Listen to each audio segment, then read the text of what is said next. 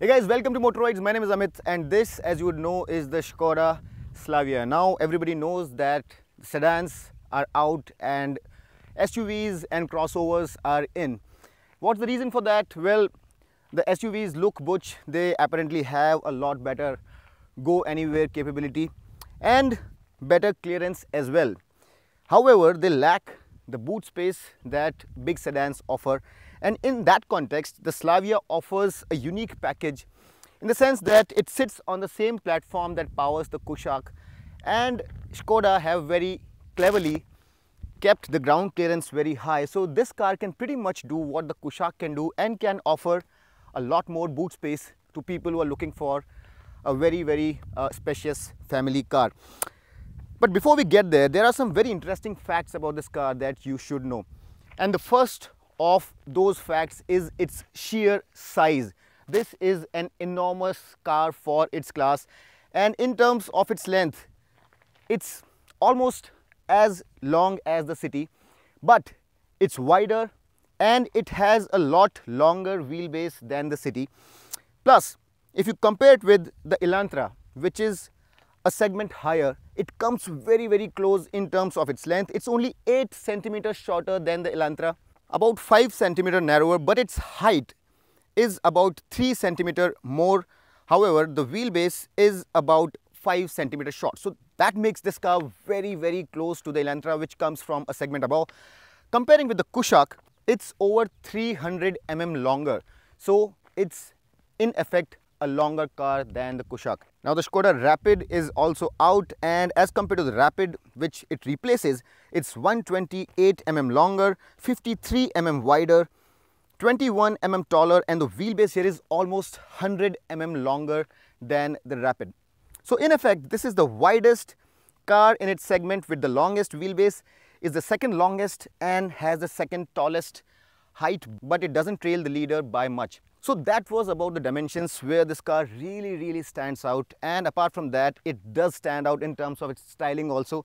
You have that familiar hexagonal Skoda grille, although the difference here is that you have uh, somewhat twin vertical slats here on the Kushaq, but here you have single slats and it does look very, very handsome.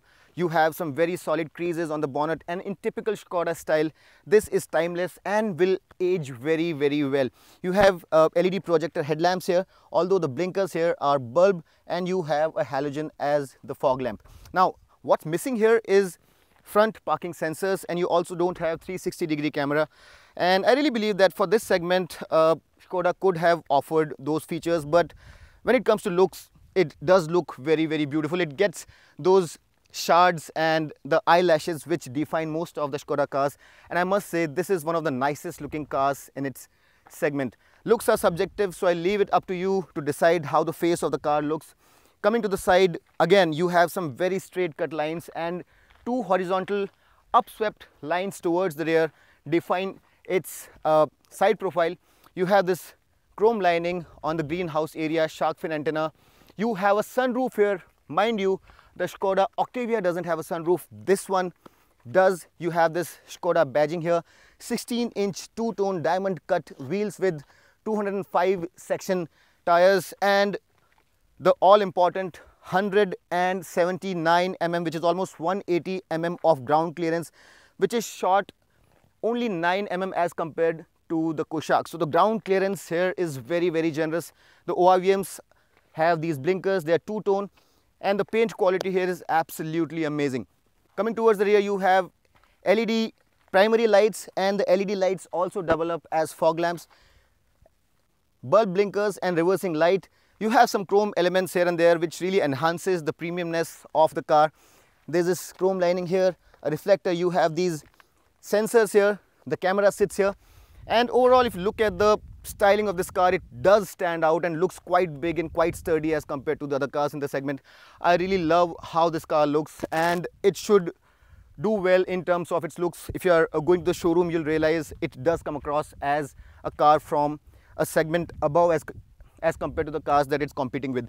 Now let's talk about the boot space and that again is a highlight of this car at 521 liters.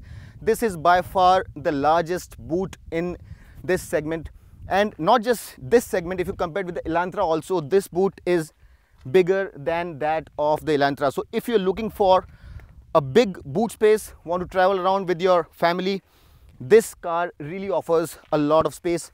Plus you have 60-40 split rear seat, which further enhances the loading capacity of this car. Let's flip the floorboard here and you do get a full-sized 205 section wheel here although you don't get an alloy.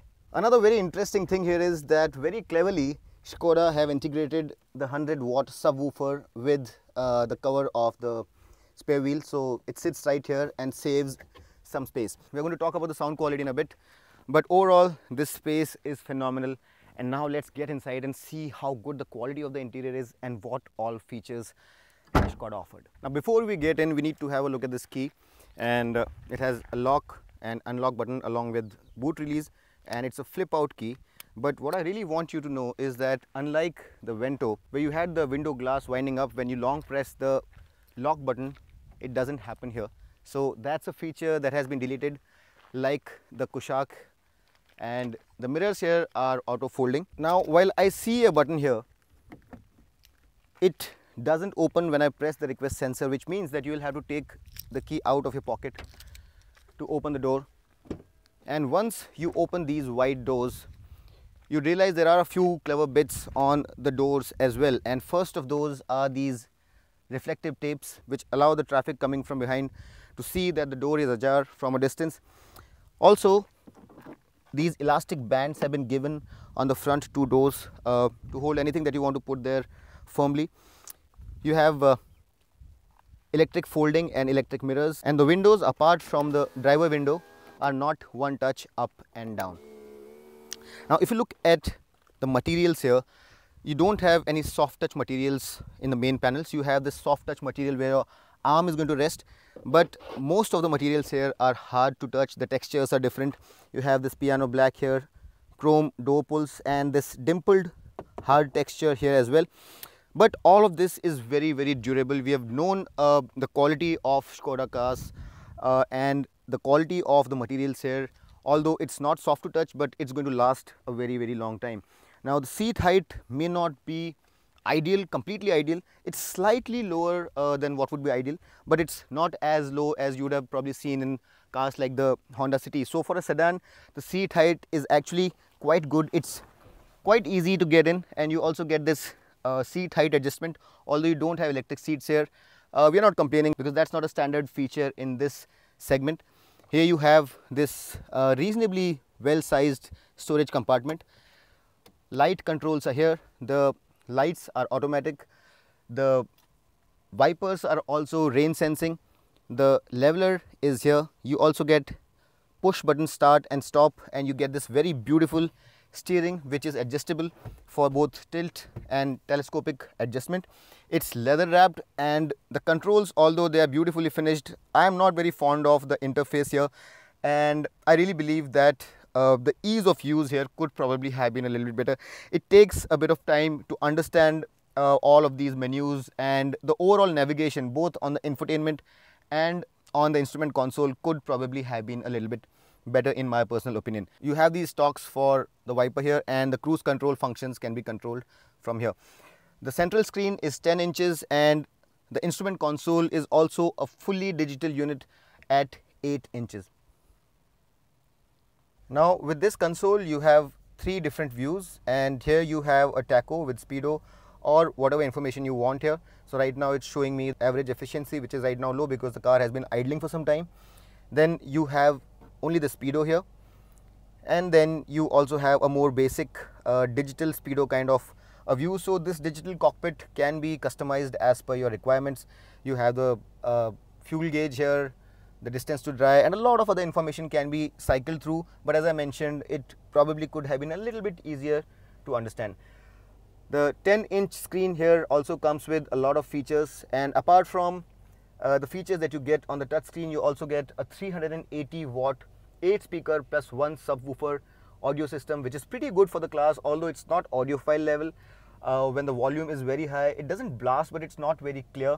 Uh, at mid levels it sounds very good. And uh, overall for the segment I think it's a good audio system. Although if you are an audiophile and someone who's used to listening to some really really precise audio systems then probably you'll have to like you know, look for something else or maybe upgrade it.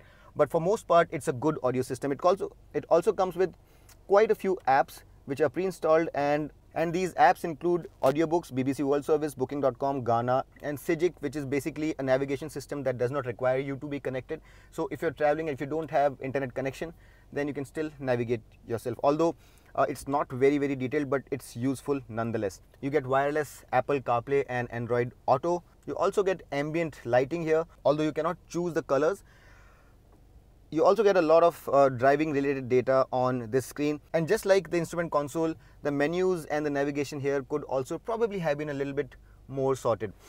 Uh, you also get Skoda My Connect uh, app here. You can do live tracking of your car geofence it. You can route track it. You can record and report the driving data. The driver uh, behavior can be analyzed. You have the feature of walk to car and you also have tow alert. The AC unit here is also pretty familiar and you have uh, climate control although it's not a two zone unit temperature can be increased or decreased using this slider and the flow control can be increased and decreased using this slider here. You can also put it on auto and it also comes with air care which is basically uh, a control for the air quality inside. The storage spaces here are pretty generous too and you have this very usable space here and this slanting pad here is uh, wireless charging equipped so my phone is currently charging and that's a fantastic feature to have.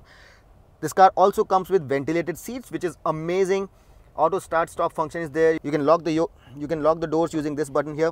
There's this little crevice here for the key a 12 volt power socket here. Two usb type c sockets here. You also have these two cup holders and the cup holder up front comes with these dimples and there is a lot of space under this armrest. So you can store as you can see a sunglasses case a wallet and whatever else you want to. The armrest itself is sliding although it is not height adjustable. The handbrake here is a mechanical unit. You don't have an electric brake and that is okay for the class that this car competes in. If you look at the quality of the materials on the dashboard, it's par for the course and although it's not soft to touch, we don't see soft to touch materials in this class anyway. This is a very durable material. You also have this recess where you can put uh, an idle or you can put your cell phone or wallet or whatever you want. So this again is a useful space which has been provided by Skoda. Now if you look at the colors and the materials, uh, the top part is a durable material. You have this uh, bronze inlay here which I personally am not very fond of. I think this could have been a different color. Then you have this piano black and a dimpled texture here which again although very durable uh, is not soft to touch. You get these chrome bezels on the side AC vents and a chrome lining on the center vents as well which are not circular they are rectangular. Another great feature to have is a cooled glove box and the glove box is reasonably sized as well. The seats are two-tone black and beige. They are perforated for the top variants. They are uh, done in leather and since it comes with ventilation, they are perforated as well and they are very wide, very comfortable. As you would expect from Skoda, these seats are some of the most comfortable in its segment and I don't really have anything to complain about.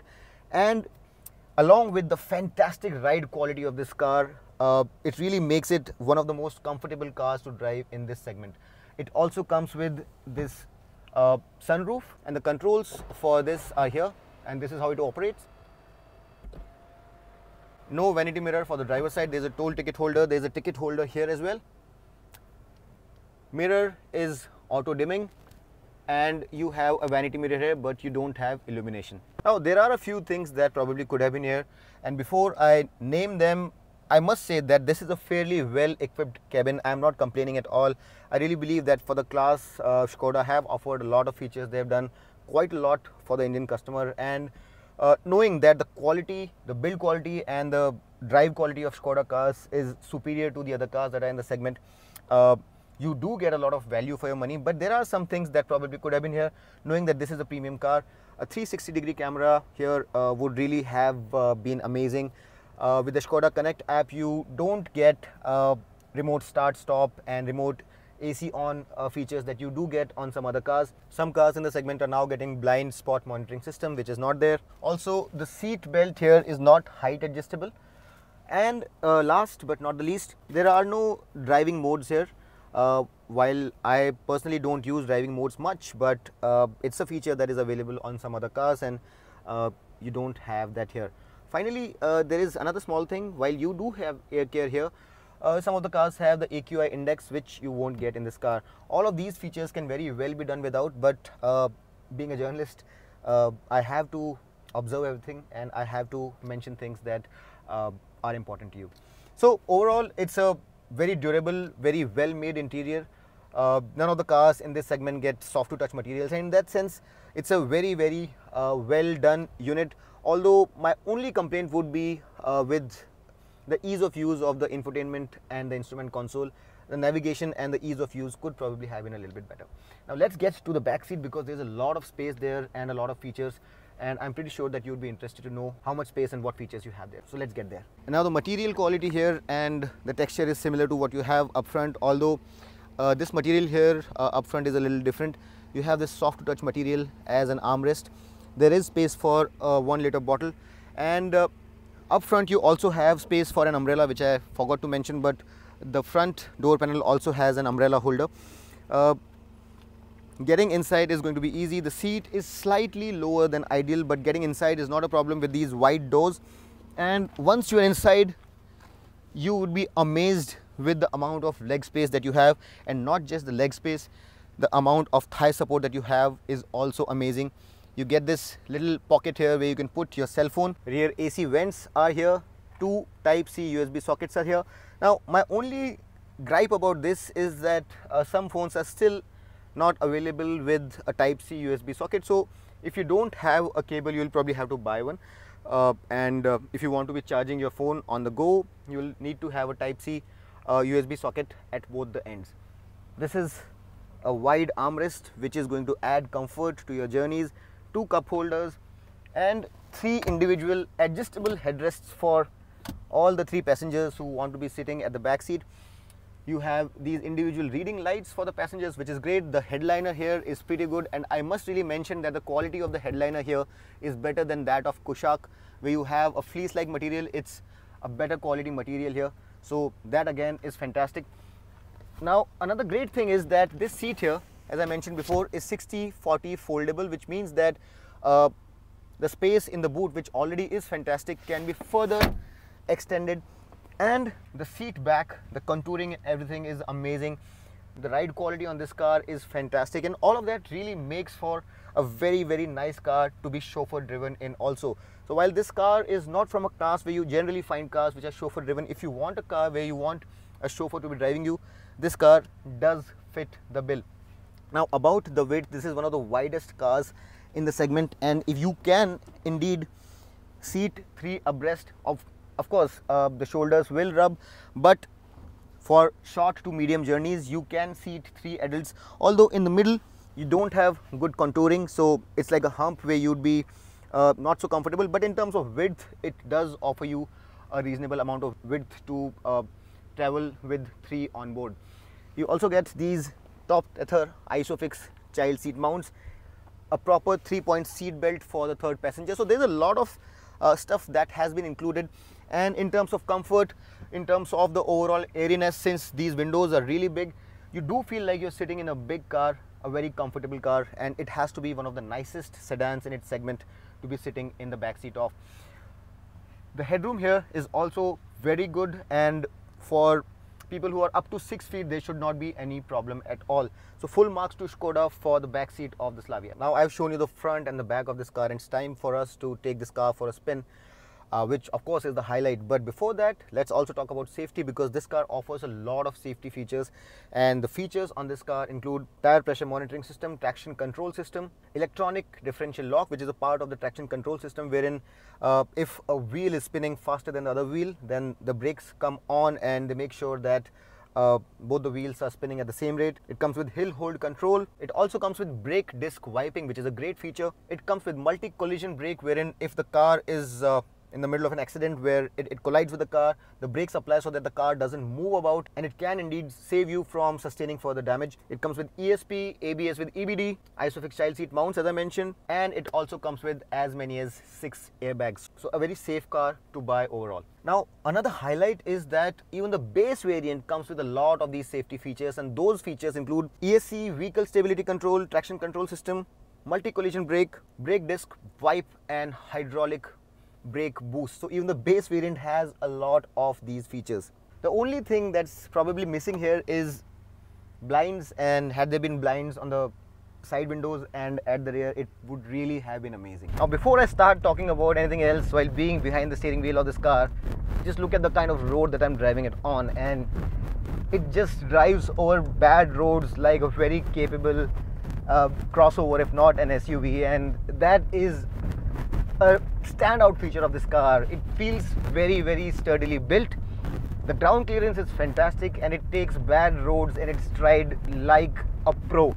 So, if the lack of go anywhere capability is something that stops you from buying a sedan, then you really don't need to worry about that because with its ground clearance and sturdy suspension, it really glides over bad surfaces and that ride quality is just one of those highlights and the other highlight is this. It simply sticks to the road and gives you a fantastic drive feel what Skoda is known for and the ride and handling package of this car is astoundingly good. It is by far the best ride handling package in this segment. Absolutely spot on. And not just is it very comfortable it is amazingly fun to drive as well. And I'm right now driving the 1 liter turbo petrol. It goes a notch up when you're driving the 1.5 liter. This engine itself is fairly powerful. It has the most amount of torque in the segment 178 newton meters of torque which is the best in class. It also gets 115 ps of peak power. And the power is produced between 5000 and 5500 rpm in its uh, peak state. And if you talk about the torque the torque is produced from as low as 1750 rpm all the way to 4500 rpm so you have this surge that comes in as soon as you uh, reach 2000 rpm and and it's not that the power is not available lower down the rev range from as low as 1000 rpm you have some movement going on.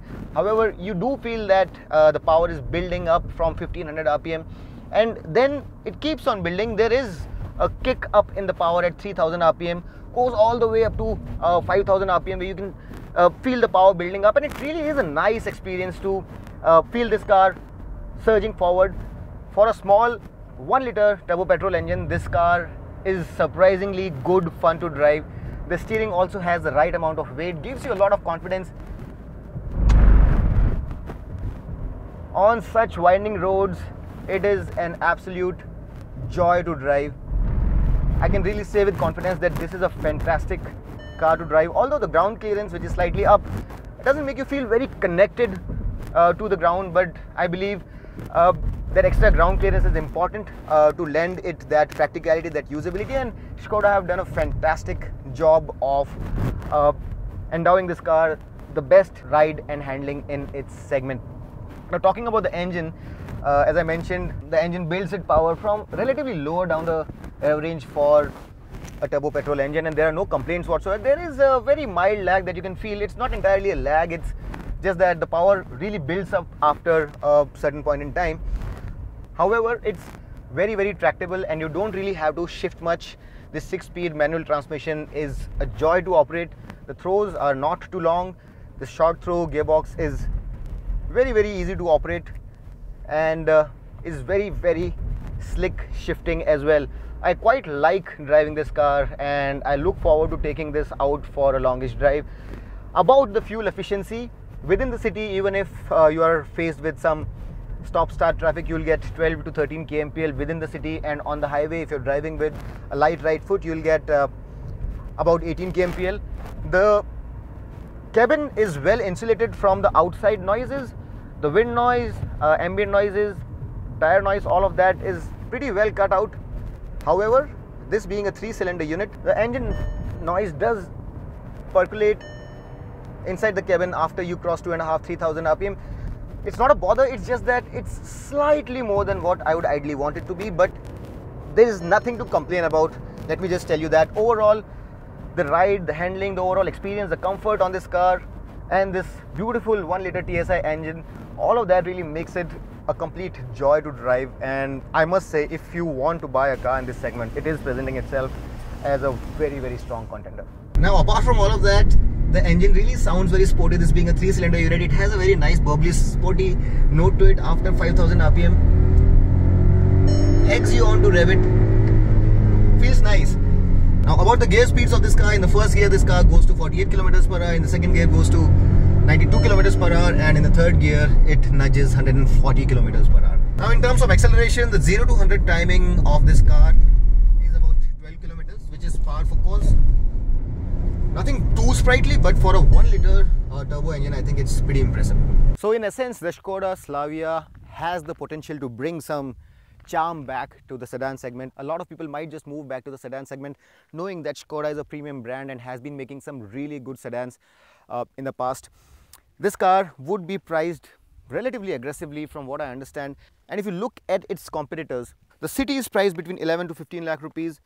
Uh, the Verna is priced between 9 to 15 lakh rupees. The Ciaz from 8.5 to 11.7 and the Elantra which is from a segment above is priced between 18 to 20 lakh rupees. Looking at all of those prices, my hunch is that the Slavia will be priced uh, in a wide band of 10 to 18 lakh rupees because that 1.5 liter petrol is the most powerful and is somewhat a segment above uh, the cars that we have in this class. So 10 to 18 lakh rupees starting price 10 lakh top end variant 18 lakh is uh, what the price band should be like. And for that price I really believe that the Slavia is offering a lot of car for the money. And if you are concerned about uh, the maintenance or service costs of the Skoda, I have something to share with you. This car will come with a four year all-inclusive warranty where your service and labor cost and everything will be covered for 24,499 rupees which is amazing and it will convert to about 0.45 rupees per kilometer uh, cost of ownership. This car comes with a four-year warranty and can be extended to two years which again is fantastic. Now in terms of colors, I don't know uh, all the colors since I don't have that information, but this red and a blue which is exclusive to the 1.5 is there for sure and I can tell you that the blue looks fantastic and I for one would definitely go for this car in this segment if I had to buy something. Uh, the only problem is that there's no diesel so if you're looking for a diesel car you'll probably go with something else, the City or the Verna but if you want a petrol definitely this is one of the strongest contenders and you should definitely go and check out this car if you're looking to buy a car in this segment. You have some alternatives also the Kushaq, the Creta, the Seltos and uh, uh, the Taigun. So you can always choose from the SUVs also but among the sedans this has to be one of the strongest contenders. I really hope that I was able to cover this car as comprehensive as you expect us to. Still, if you have any questions, put them down in the comments section and I'll be very happy to answer all your questions. Do not forget to subscribe to Motoroids. Do like, share and share the joy. Uh, do give us some encouragement.